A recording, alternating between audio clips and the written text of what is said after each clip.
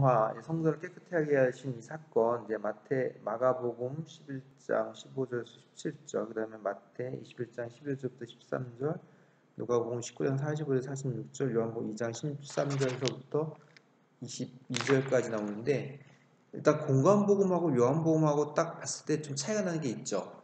네.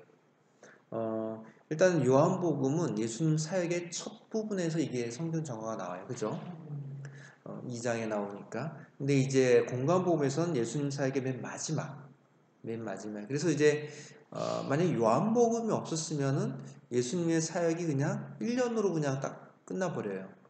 근데 이제 요한복음은 예수님이 그 명절에 예루살렘에 올라갔던 게한 서너 번 나와, 세번 정도 나와요. 그러니까 그걸 기준으로 해서 아, 예수님 사역이 한 세 번, 3년이다. 이렇게 우리가 판단하거든요.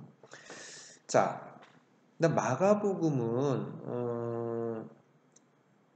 그러니까 마태나 누가나 마가는 이제 공통점이 굉장히 많은데, 근데 마가가 어, 가지고 있는 거를 마태가 누가에서 뺀, 뺀 부분이 있어요. 혹시 그게 뭔지 아시겠어요? 그 기도하는 이제 앞에 용어 차이가 네, 그것도 있고 그 다음에 어, 여러분 마가복음 12장 16절 성전들을 가로질러 물건 나눌 금하셨다. 이거를 다 뺐죠. 어, 이거는 물건 나눌 걸 금하였다. 어, 이거를 이거는 이제 그 마태에도 안 나오고 누가에도 안 나오고 그다음 요한에도 안 나와요. 네. 근데 이제 우리가 이제 공간복음 연구할 때 여러분들 책을 읽어보셔서 알겠지만 우리가 이제 마가복음의 우선성을 근거로 하거든요. 어, 근데 이제 마가복음의 우선성에 반대해서 뭐, 뭐 팔머나 몇몇 학자들이 마태복음의 우선성을 얘기하는 학자들이 아직도 있어요. 몇몇. 어, 근데 전통적으로는 우리가 교회 역사에서 마태가 제일 먼저 기록되었다고 우리는 배워왔어요.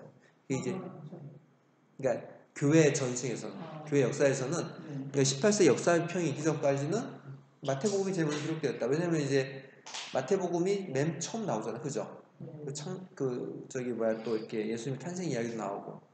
그런데 이제 우리 역사평의 이제 이문 소설 또 사문 소설을 근거로 해서 봤을 때 마가복음이 이제 먼저 기록됐다고 하는 이유는 어 그 여러분 그 공간보고서 연구를 쓴 리차드 키트 키트인가요? 그 사람은 이제 그 마가복음에 나와 있는 내용이 한 77%는 마태에 나온다 얘기를 해요. 그 다음에 어, 마가복음에 나오는 내용이 한 60% 정도는 음, 누가 보면 나온다. 뭐 그런 얘기. 저도 저는 한 80% 정도 얘기하는데 어, 그렇게 하고 그 다음에 마가복음의 어떤 신학 자체가 좀 더 이렇게 가공되지 않는 그런 모습이 많아요.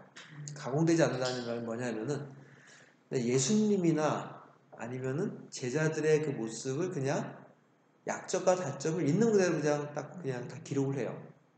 예를 들면 이제 우리가 지난번에 봤던 그 야고보와 요한이 예수님께 막 황당한 얘기를 황당한 욕을 한다던가 이런 것도 그냥 그대로 또 예수님이 굉장히 그 인간적인 모습 그죠? 그냥 뭐 배고프시고 그다음에 뭐 엘렐리 라막스 이런 거 해가지고 그걸 그대로 이렇게 예, 그 기록을 해요. 반면에 마태나 누가 요한으로 갈수록 그런 모습은 점점 점 삭제되고 또 변화되고 제자들의 모습은 좀 더 좋은 모습으로 예수님의 모습은 좀 더 신성을 예, 나타낸 쪽으로 다 이렇게 보면 이제 그런 것이 좀 나와요. 나오고 자, 그 마가복음 같은 경우는 그러면 저자가 누구, 누구였나? 음, 전통적으로는 베드로의 통역자 마가라고 했어요. 마르코스예요. 마, 마, 마코스. 어, 근데 여러분들 이제 우리 공간보고서 그 책을 읽어보면 알겠지만은 학자들은 이제 마태, 마가, 누가 요한을 정확하게 누구라고 특정하지 못해요. 왜냐면 이제 그 고대였던 언어 기술 방, 그 책을 기록할 때 기술 방식도 그랬지만은 우리가 이제 마태복음 같은 세리 마태를 많이 얘기하는데 이제 학생이 조사하면 그것도 아니고 마가도 마찬가지. 그래서 그냥 마, 통상적으로 우리가 마가 복음이라고 하지만 이게 그 베드로의 통역자 마가 라고 보는 것은 이제 좀 뭐 근본주의자들이나 아니 보수적인 학자들은 그렇게 보지만 어, 일반적으로 우리는 이제 누군지 모른다 이게 아쉽겠지만 어, 뭐 그렇게 지금 얘기를 하고 있고요. 어, 기록 연대를 한 70년 보통 이제 60, 70년대로 어, 마가복음이 기록되었다라고 이렇게 예, 보고 있죠. 어, 자, 오늘 마가복음에서 성전들을 가로질러 물건 걸 금하셨다. 이거 갖다 여러분들이 그 제가 여기 세 번역을 해놨는데 어, 개역 개정으로 보시면 어, 이 부분은 이제 그 11장 16절이죠. 11장 16절 한번 개역 개정을 보시면 어, 아무나 물건을 가지고 성전 안으로 같이 나지 허락하지 아니하시고 어, 그 다음에 옛날에는 기부란 말 어, 개혁성 개혁을 좀 약간 좀 따르게 했는데 자 어, 여러분 마가복음은 어, 이제 주로 이제 그 이 복음을 전한 대상이 이방인들을 많이 대상으로 했다고 해요. 이방인을 많이 대상. 그리고 어, 그 유대 그러다 보면 유대교의 어떤 율법이나 성전 이런 것에 대해서 굉장히 반성전적인 어떤 태도가 강하고 반율법적인 게 많아요. 여러분 아시겠지만 마태복음 같은 경우에는 율법에 대해서 굉장히 전향적이죠. 어, 율법에 대해 되게 전향적이라는 것은 율법을 굉장히 호의적으로 여러분 잘 아는 마태복음 5장 17절하고 18절에 뭐라 그래요? 내가 율법을 폐하라고 온 것이 아니라 완성하러 왔다. 이게 마태복음 유일하게 나오거든요.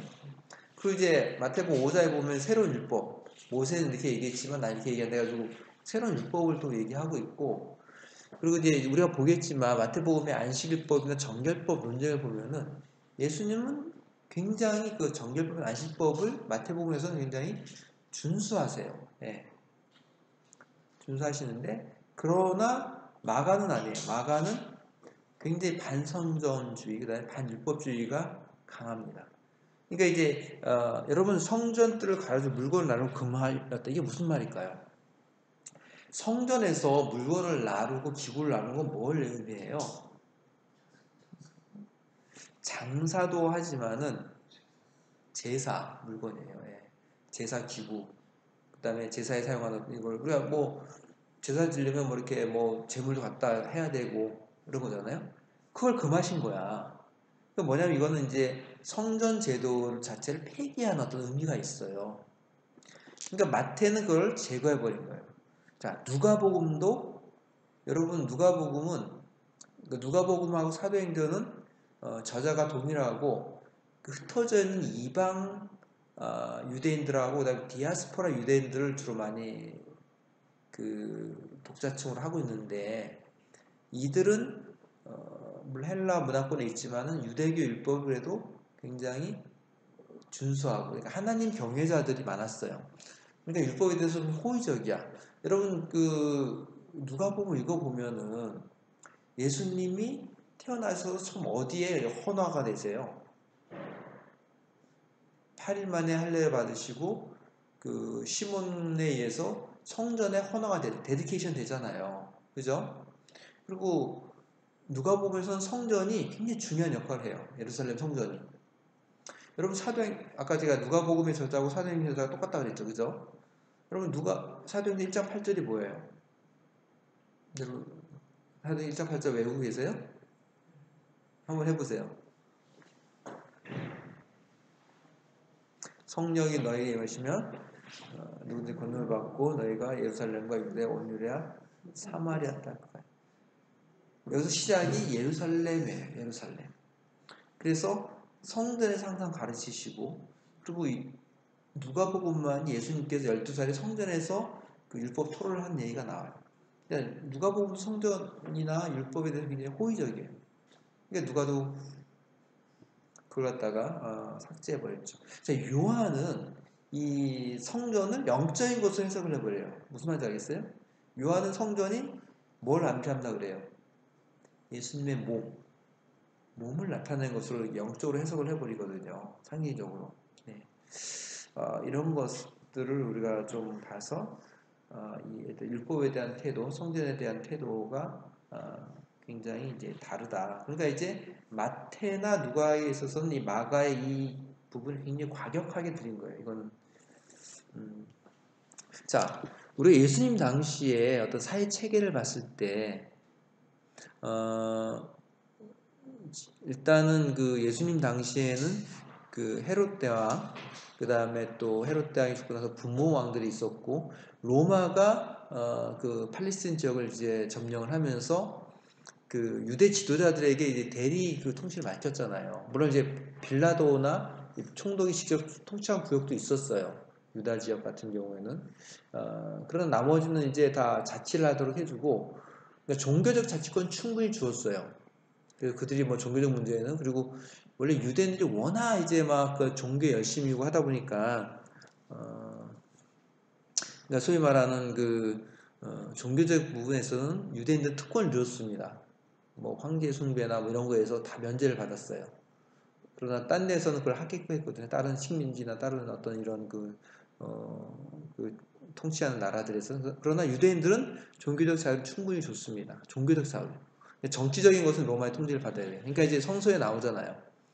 종교 사범, 유대교 종교에 대한 것은 유대인들이 직접 뭐 사용할 수 했는데 이 정치 사범은 그 유대인들이 마음대로 하지 못했어요. 그러니까 예수님을 이게 정치범으로 몰아간 이유가 어 자기는 유대인들은 어찌 보면 이제 그 손에 아무도 안 묻히고 코를 푸는 거 똑같은 거예요. 왜냐면은 예수님 자체가 굉장히 유대인들로부터 한 지지를 받았잖아요. 그죠?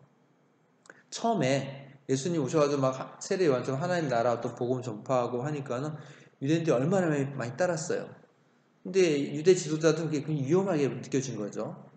그래서 이제 성전을 중심으로 한 이제 그 사두개파나 유대 귀족들의 대상들이 이 성전을 이제 이데올로기화 시킨 거예요. 그래서 성전을 통해서 어, 어떤 성전을 통해 가지고 그 백성들을 이제 지배하고 그 안에 묶어두고 또 로마는 것을 인정해 줌으로써 어떤 정치적인 안정을 꾀하고 어, 이런 식이었던 체제를 했었는데 어, 이 마가복음 굉장히 반성전주의예요. 반성전주의. 그래서 성전이나 율법에 대해서 굉장히 반대한. 근데 보면 쭉 나와요.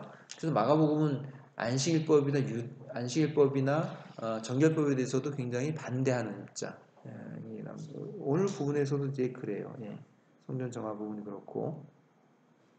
혹시 성전 정화 부분에 대해서 여러분 뭐 더 토론하시거나 궁금하신 거 있어요?